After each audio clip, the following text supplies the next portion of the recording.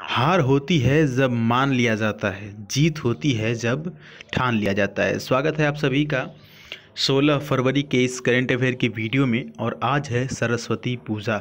हमारे second channel पर हो सकता है कि सरस्वती पूजा जो हम लोग मना रहे हैं, उसका ब्लॉग आज शाम तक आए। तो आप अगर नहीं सब्सक्राइब किए होंगे तो कर लीजिएगा, सुधीर पांडे ब्लॉग के नाम से है। मैं नीचे आपको कमेंट कर दूँगा और पहला कमेंट हमारे ही चैनल से होगा। तो आप जा कर के उसको ज़रूर सब्सक्राइब कर लीजिए। पहला क्वेश्चन यहाँ पर आपके लिए, किस देश की धाविका बिट्राइस चेकपोस्ट ने पाँच किलोमीटर रोड रेस को चौदह मिनट तिरालीस सेकेंड में पूरा करके विश्व रिकॉर्ड बनाया है? ऑप्शन आपके सामने। Option number B, sorry, option A, Kenya.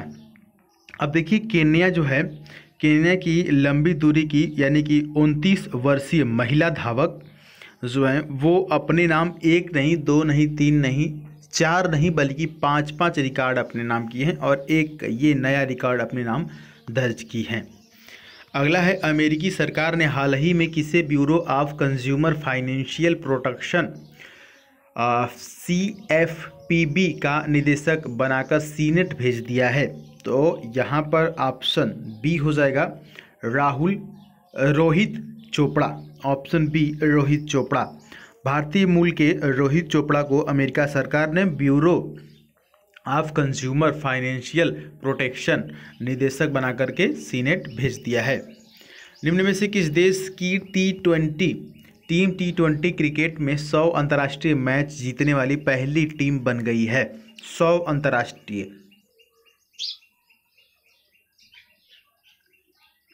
यहाँ पर ऑप्शन नंबर सी पाकिस्तान हो जाएगा। देखिए, पाकिस्तान की टीम ने 14 फरवरी 2021 को साउथ अफ्रीका की को तीन मैचों की टी ट्वेंटी इंटरनेशनल मैच की सीरीज़ में आखिरी मुकाबले में चार विकेट से हरा के और उसके बाद ये रिकॉर्ड कायम किया है कि 100 अंतर्राष्ट्रीय मैच जीतने वाली पहली टीम बन गई है, पाकिस्तान। अगला है इटली के नए प्रधानमंत्री के रूप में किसे नियुक्त किया गया है? ये काफ़ी इंपॉर्टेंट है। ऑप्शन नंबर बी याद रखेंगे। मारियो द्रागी, तिहत्तर वर्षीय मारियो द्रागी को सुपर मारियो द्रागी के नाम से भी जानते हैं, ठीक है? ये तिहत्तर वर्ष इनकी उम्र है और इस उम्र में ये इटली के नए प्रधानमंत्री नियुक्त हुए हैं। भारत में राष्ट्रीय महिला दिवस किस दिन मनाया जाता है? ये काफ़ी इंपॉर्टेंट